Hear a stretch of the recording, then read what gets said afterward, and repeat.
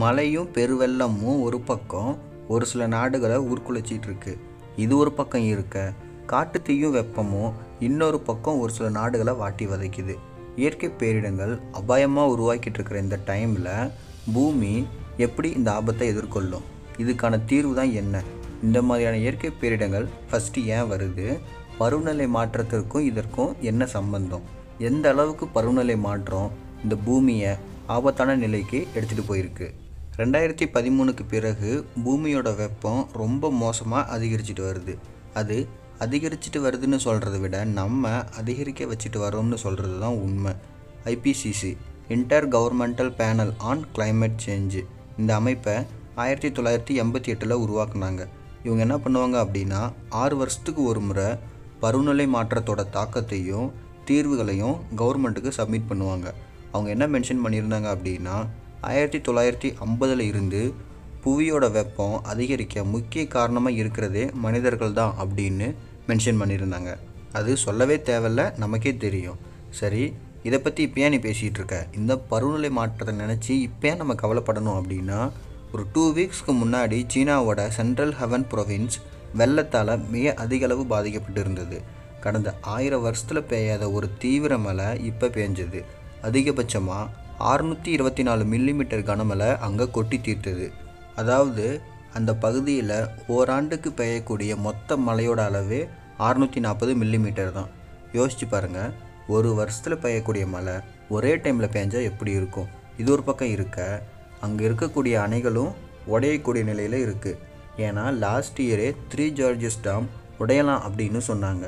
பல நேரங்களில் சீனா செய்யக்கூடிய தவறு பல மனிதர்களை காவு வாங்கிட்டு இருக்கிறதுங்கிறத சீனா ஏற்றுக்கணும் ஏன்னா எண்பத்தி ஆறாயிரம் டேம்ஸை சீனா கட்டி வச்சுருக்காங்க. இதனால் நிறைய ஏரிகளோட வழியை அடைச்சிட்டாங்க.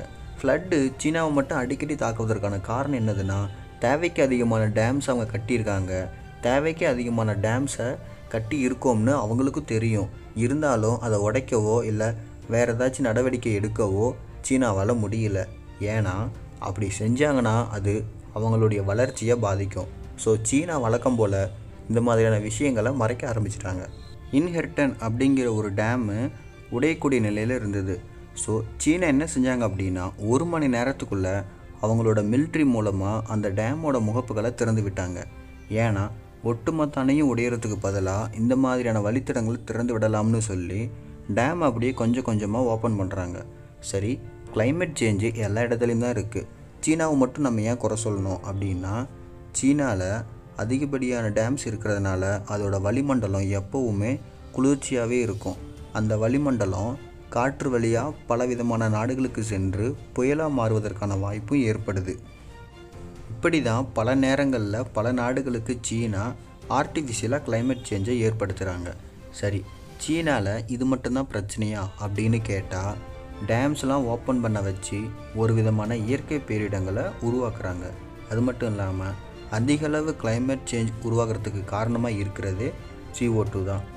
அதையும் அதிக அளவு வெளியிடுறது யாருன்னா சீனா தான். வாட்டரை ஒரு ஆயுதமாக மாற்றக்கூடிய ஆளுங்க யாருன்னா அது சீனாவாக மட்டும்தான் இருக்க முடியும். அங்கே இருக்கக்கூடிய பலவிதமான ஆறுகளை அவங்க நாட்டுக்குள்ளேயே வச்சுக்கிறாங்க. இந்தியா நேபாள் மாதிரியான நாடுகளுக்கு வரக்கூடிய ஆறுகளை தடுத்து நிறுத்துகிறாங்க அது எல்லாமே அவங்களுக்கே பெரிய பிரச்சனையாக மாறுது. சீனாவோட தேவையில்லாத கண்டுபிடிப்புகள் சீனாவை சீனாவே அழிச்சிடும்.